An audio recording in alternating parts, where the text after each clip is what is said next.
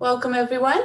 We're so glad to have you with us this morning for an up close look at some of our favourite fossil finds discovered right here in the middle of Los Angeles. Thank you everyone for joining us. My name is Agnes and I work with the education team at the La Tar Pits. So as you can probably tell, I'm not at the museum right now. I'm at home like many of you, but we do have some amazing staff that still need to go into the museum to help take care of our excavation sites and fossils. So we're going to try and get to as many questions as we can. And Laura might answer a lot of them during her presentation. But if we don't get to answer your question today, I encourage you to write it down so you can learn more about the animal on your own. So if you'd like, go ahead and grab a piece of paper and a pencil so you can record your experience while you're watching today. You can note down any of those questions you have, maybe a few facts you learned, or draw or write a description of what the fossil looks like. And we love fan art of our fossils. So if you have a picture you'd like to share with your teacher, they are welcome to email it to the school programs team. So this is the animal we're featuring today. And maybe it's one you're familiar with. This animal was living in Los Angeles 11 to 55,000 years ago during the Pleistocene or the last ice age, and it's the dwarf pronghorn. So let's go ahead and get started. I'm going to switch our camera over to Laura so we can meet today's ice age animal, and you'll see me again in a little bit. Hi, Laura. Hi, Agnes. Thank you for the lovely introduction. And uh, just like many of you and my friends here, I am also working from home. So, welcome to my office, as it were. I've tried to decorate for you. Um, but I do apologize if we hear trash trucks in the distance because that's how life is right now. But uh, today, for an early Valentine's Day, I'm going to talk about an extinct animal that I love, Capromeryx minor, which is commonly known as the dwarf pronghorn. During my talk, I'm going to most commonly refer to it as Capromeryx, which is its genus name, mostly just to avoid confusion when I'm referring to their still living cousins, the pronghorn. And yes, this is how I dressed up uh, when we switched to going digital before. Uh, last year, I am that person, and my coworkers are just used to it at this point. So Capromeryx is one of the only about of a excuse me, Capromeryx is one of about a dozen known extinct species of pronghorn in North America and the world. And uh, it's the only extinct species that we have confirmed at the tar pits, however. It's currently considered rare in our collection, but it's still the most common of our two species of pronghorn. So this skeleton on my slide here is uh, the skeleton that's currently on display inside of our museum. And next to it is a artist illustration of what Capromeryx may have looked like, just to give you a sense of size. And so, yes, if it were still alive today, I would totally be that classic LA girl with the big oversized purse and a cute little head sticking out because, again, I am obsessed with these. They are the cutest thing ever, and I'm sad they're extinct, but we can still talk about them now. But what other types of species did we find? I mentioned that we had two. So my next slide is going to talk about the other one that we find. So this is uh, the second species that we find at the tar pits and is the closest extant or still living relative of the Capromeryx. It's known as the pronghorn or Antilocapra americana is its scientific name. But that's confusing because that translates to American goat antelope, which is confusing because it's not a goat and it's not an antelope. And I understand people who came from other continents and were just trying to describe it as best as they could in comparison with other animals they knew. That's kind of the best that they were able to do, and that's fair. But home on the range lied to you. It's a pronghorn, not an antelope, not a goat. And they are the last of their kind in the entire world. They have no close living relatives. And they're currently only found in North America from the southern end of Canada down to the northern end of Mexico. And they are the second fastest land animal on the planet, only behind the cheetah, but they can keep it up longer than a cheetah can, which makes them cooler in my book. And just to give you a sense of how fast they're moving, when they're moving at top speed, there's about 20 feet in between every stride as they're running. So again, they're moving pretty fast. Uh, I could talk about pronghorn for hours because they are so amazing. But since that's not the time that we have in this format, I will move on from talking about pronghorn for now. And uh, however, uh, what are pronghorn? We will still go into that one. As I may have mentioned once or twice, they're not antelope. Um, there's a wide variety. This is only a sampling of antelope. There's around 90 different types of antelope around the world. None of them are pronghorn. Um, but again, they have a wide variety of shape, but many of those shapes are similar to the pronghorn that we find in North America today. But current genetic evidence suggests that their closest living relatives, even though they are still quite distant, are giraffes and okapis over in Africa. So again, it's one of those things where we try to have a concept of what they are, but because they're the only ones of their kind, it's harder for us to sometimes understand uh, where they fit in the family tree of everything. But looking at these also reminds us that even though they have very similar types of body shape, this type of body shape still does well everywhere from dense rainforests to grassy savannas to mountains to deserts.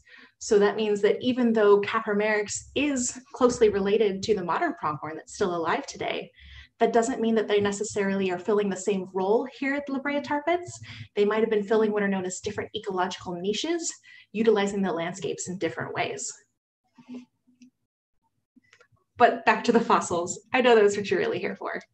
So this one with my finger for scale, so you can see how tiny it is, is the terminal phalanx of a dwarf pronghorn of Capromeryx.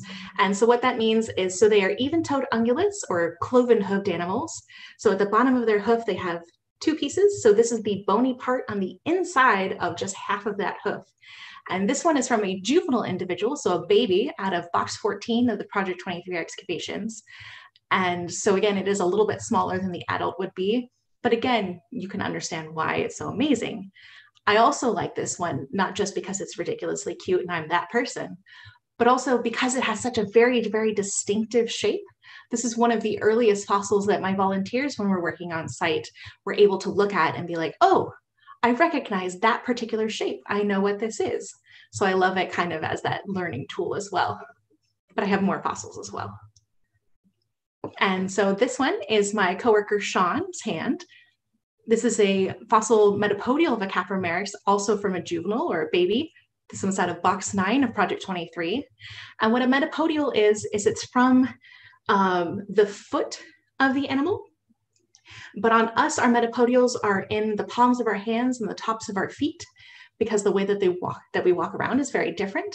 Whereas on a pronghorn, if you look at the artist illustration, right where the word metapodials is, those knobs on the legs are where our wrists and ankles are.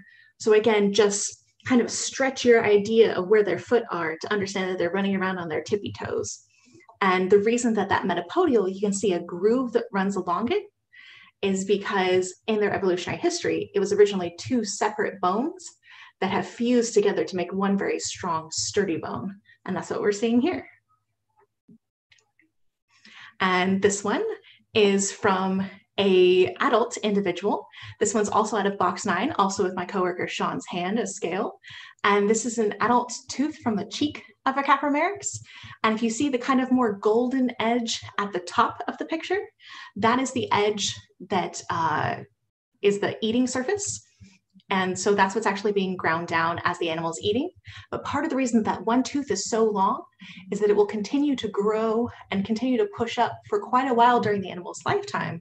So they're able to use that one tooth to grind down that heavy vegetation, but also still use the same tooth for a lot longer than you and I could. Because you and I, we'd wear down our teeth and that's kind of it. We have our baby teeth, we have our growing teeth, we wear them down, that's it. Whereas these ones, even their grown up teeth still have a lot of room to go to help break down that vegetation. And I also have a jaw of a baby individual.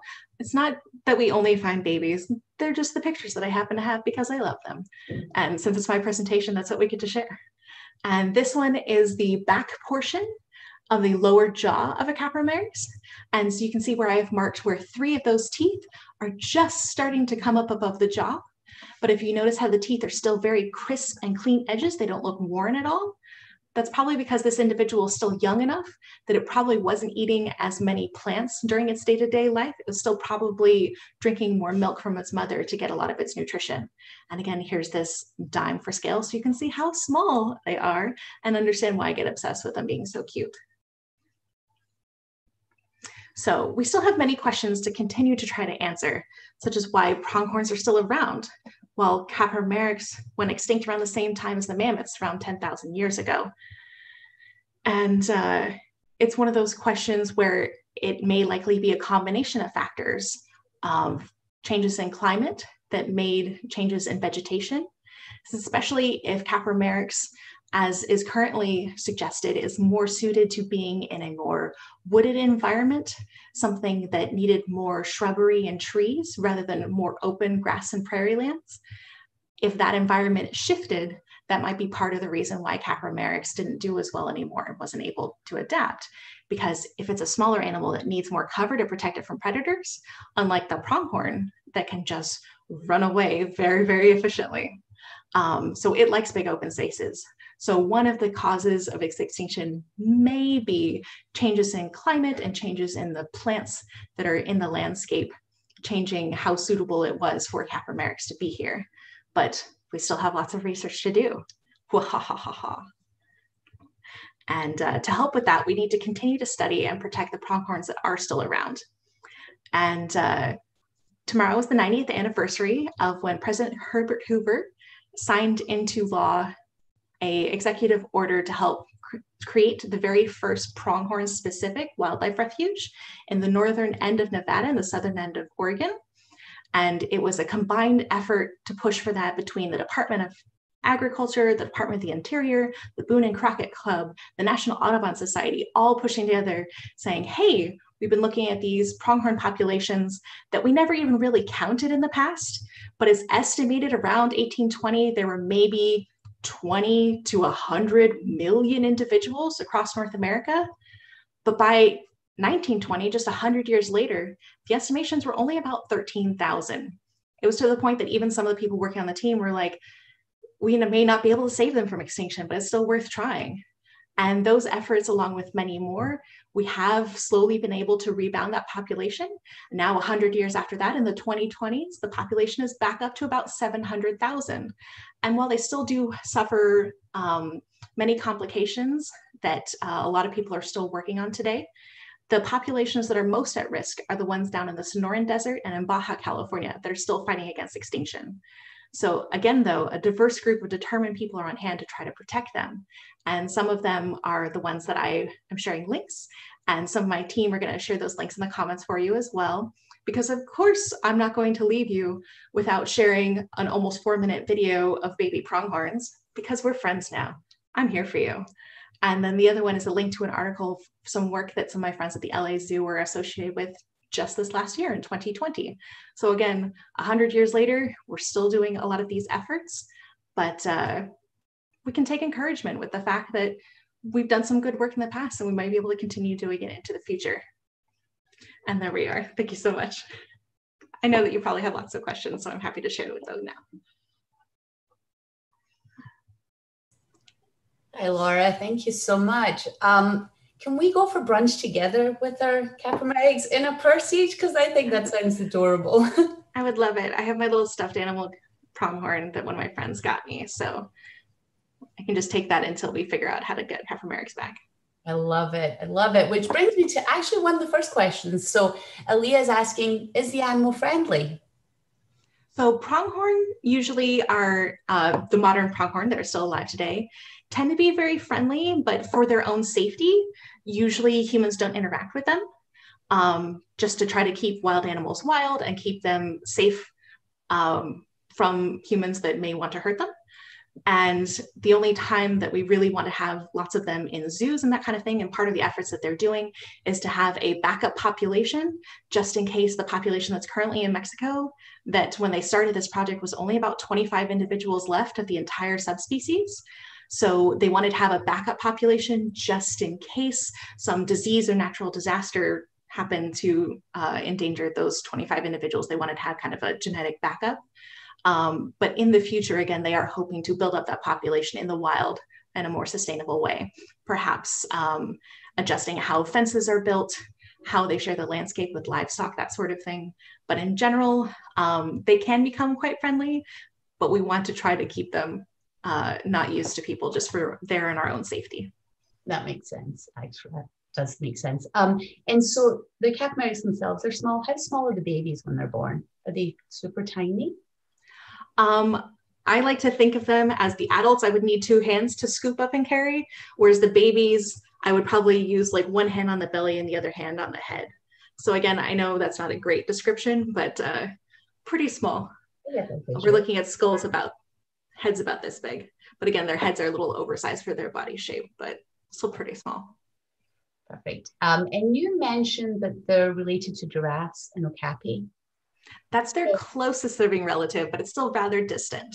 Okay. So John was wondering, do they have tongues like giraffes and okapi? Do they share any similarities like that?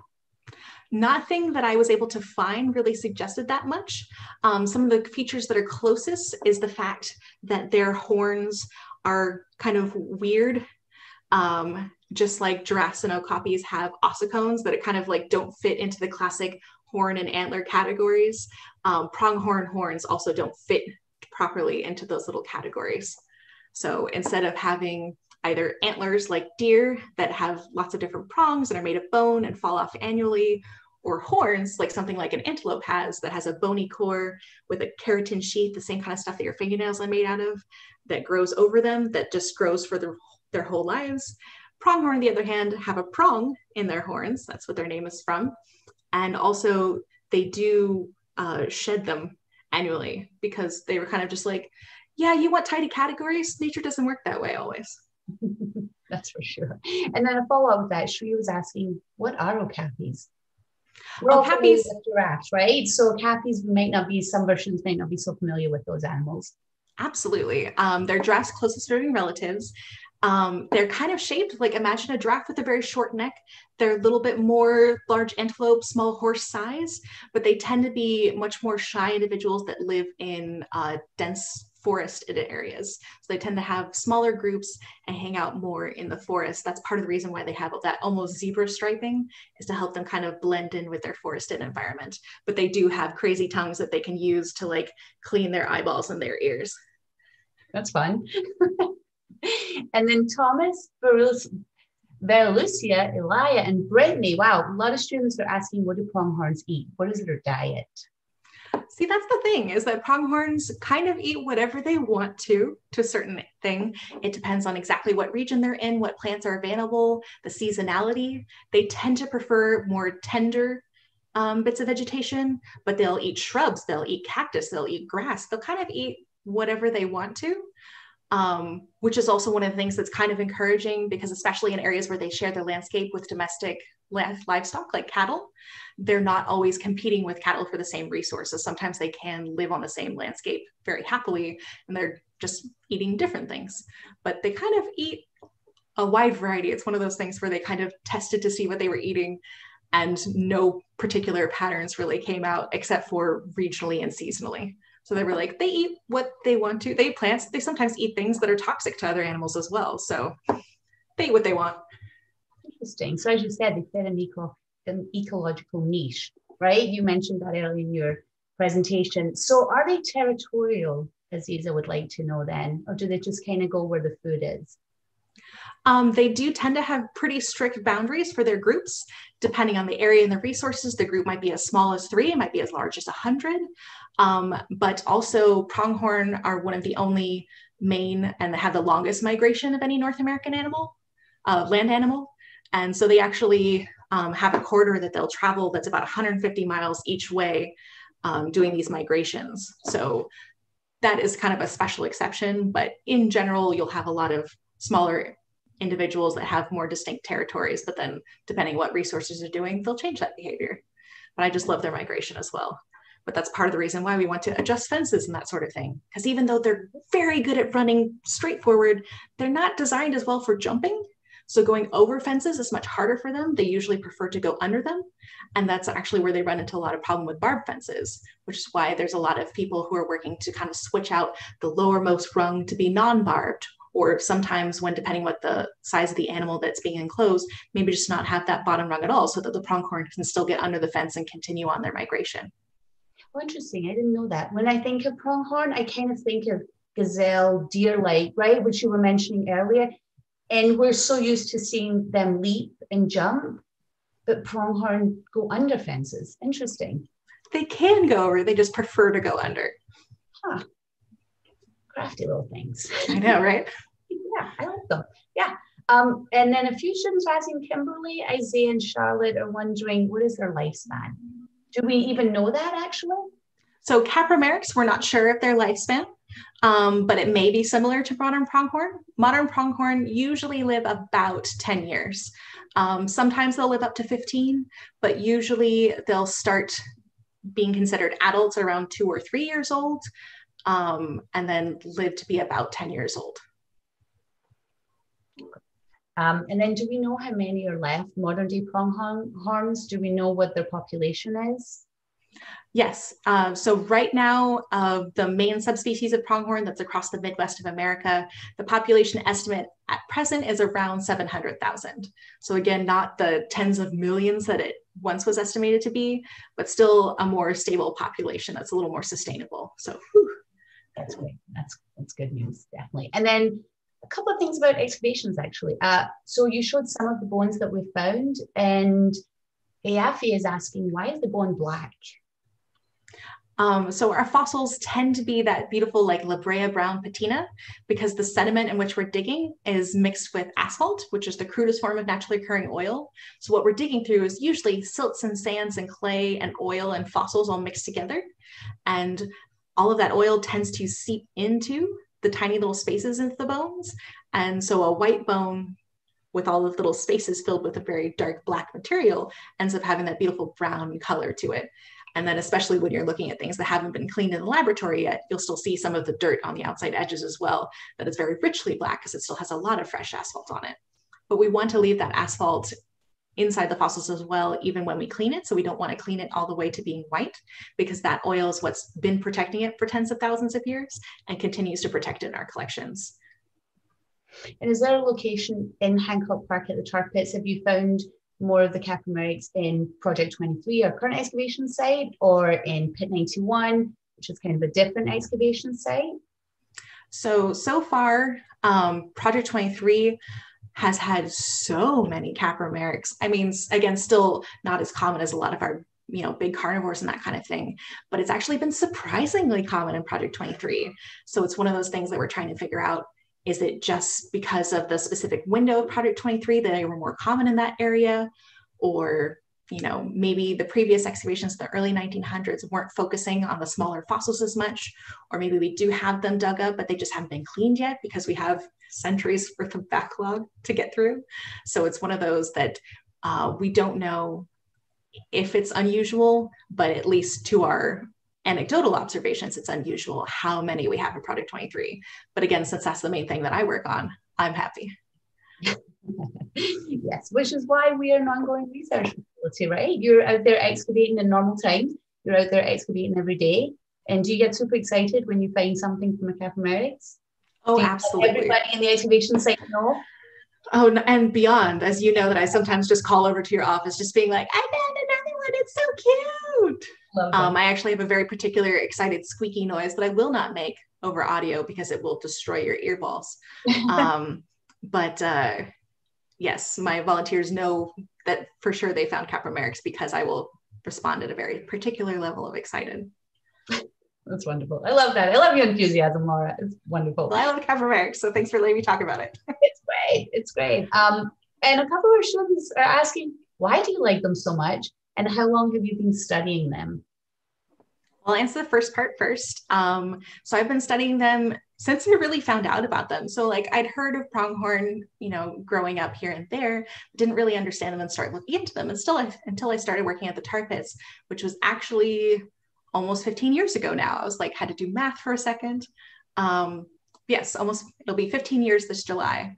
So uh, in part of that, we find so many amazing animals. And I love all of the things that we find from seed pods to mouse toes, you know, to saber-toothed cat humeri, upper front legs. Uh, but for me personally, like just because I think they're really cute, I love Capromeryx. It's just a thing that's been my thing for so long now that uh, I even have friends that like make me Viking shields with pronghorn as my shield animal. And i was just like yes this is this is what i want. Thank you. Wonderful. Um, and so we know that you love them clearly right? And this is your love for valentine's day coming up that you said. Um, but what is your next favorite fossil? Like what when you do that squeal when you find fossils in Project 23, what else do you squeal for in Project 23? Which other fossils or animals? There are a lot, but probably the second most common for me are mustelids. So things like weasels and uh, badgers and that sort of thing, uh, they tend to be my next favorite. So again, maybe it's the small things that are re- closely related or still around today. Um, but again, like I also squeal for saber-toothed cats and horses and bison and camels and everything really. I'm that person. I just get excited. But that's a good fit for my job, I guess. I was gonna say you love your job. I do. Did you always want to be an excavator? Yes, I was that classic four-year-old who went through my like, oh my gosh, paleontology phase, and I just never really grew up out of it, or maybe out of four years old. But around 12, I told my parents that I wanted to specialize and be a animal paleo animal behavioralist. And they were like, sure.